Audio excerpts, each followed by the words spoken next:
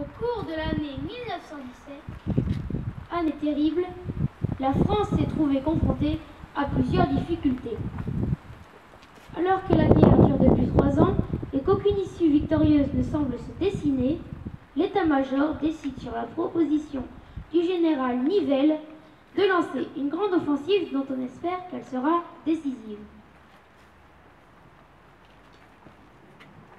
Organisée en Champagne, dans la zone du chemin des Dames, le 16 avril 1917, elle connaît un échec quasi immédiat et se solde par de très lourdes pertes.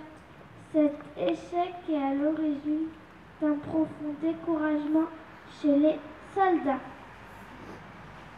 Il est l'origine indirecte des mutineries qui se produisent à partir de mai.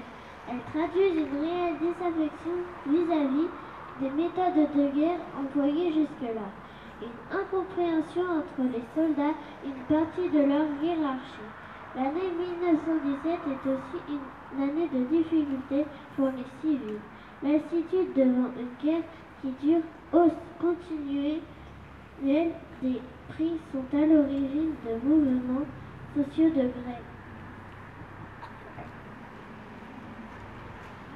Certes, on ne constate guère de défaitisme, mais le moral de la population civile faiblit, comme en témoignent les rapports des préfets. Enfin, comme ses alliés, la France doit faire face à l'affaiblissement de la Russie. Les désertions se multiplient dans l'armée russe au lendemain de la révolution de février. En décembre, les bolcheviks décident de cesser le combat.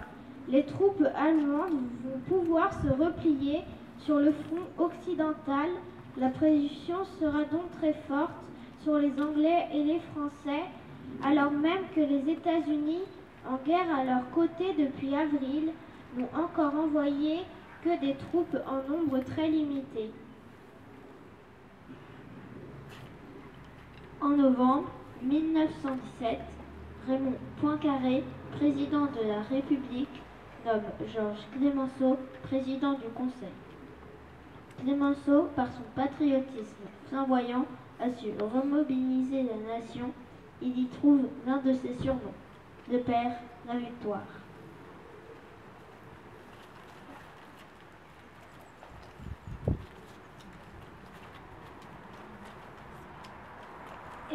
Du discours d'investiture de Georges Clémenceau, président du Conseil des ministres, ministre de la guerre, pour une déclaration du gouvernement. 20 novembre 1917. Messieurs, nous avons accepté d'être au gouvernement pour conduire la guerre avec un redoublement d'efforts.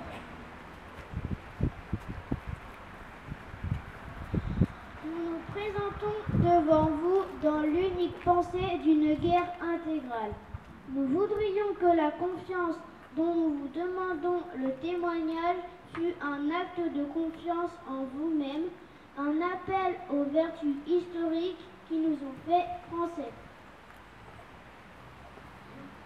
Vaincre pour être juste, voilà le mot d'ordre de tous nos gouvernements depuis le début de la guerre.